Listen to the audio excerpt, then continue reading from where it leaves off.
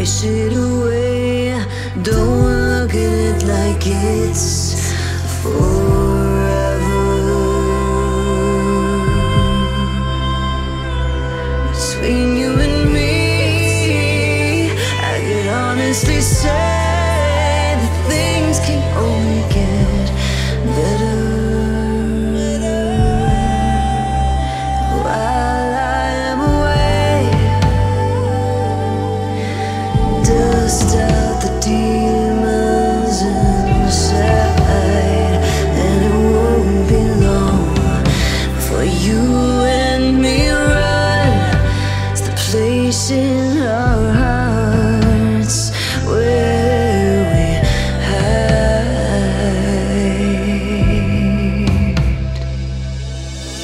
I guess that's why they call